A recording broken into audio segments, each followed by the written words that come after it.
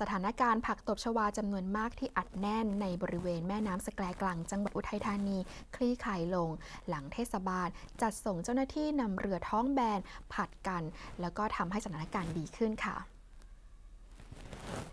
สถานการณ์ผักตบชวาที่ไหลไปรวมกันอัดแน่นในแม่น้ำสแกลกลาง บริเวณตั้งแต่วัด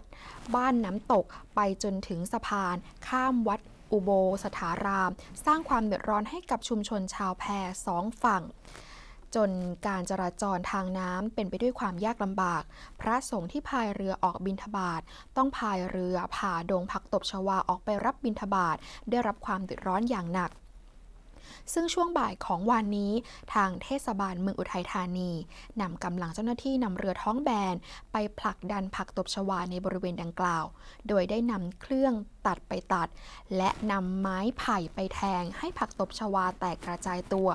ประกอบกับมีน้ำหนุนจากแม่น้ำเจ้าพยาทำให้ระดับน้ำในแม่น้ำสแกลกลางสูงขึ้น และมีลมพัดแรงตลอดทั้งคืน ส่งผลให้ผักตบชวาที่ลอยอัดแน่น คลี่คลายลง กลับคืนสู่ภาาวะปกติ เรือสามารถสัญจรได้สะดวก รวมทั้งทัศนียภาพก็กลับมาสวยงามตามปกติ